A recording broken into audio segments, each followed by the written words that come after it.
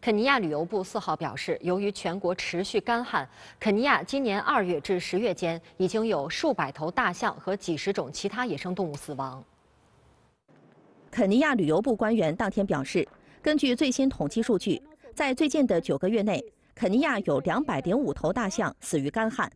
同一时期内，还有至少五百一十二头角马、三百八十一头斑马、五十一头水牛以及十二只长颈鹿死亡。查沃自然保护区是受干旱影响最严重的区域，这里死亡的大象数量超过了一百头。肯尼亚眼下正遭遇四十年来最严重干旱，极度缺水使该国不少野生动物面临生存危机，死亡数量较以往显著增加。此外，与往年旱季相比，肯尼亚今年的盗猎野味事件是以往的数倍，由于缺乏食物，一些野生动物不得不靠近甚至进入人类活动范围，进而引发冲突，这也使得野生动物的死亡率进一步攀升。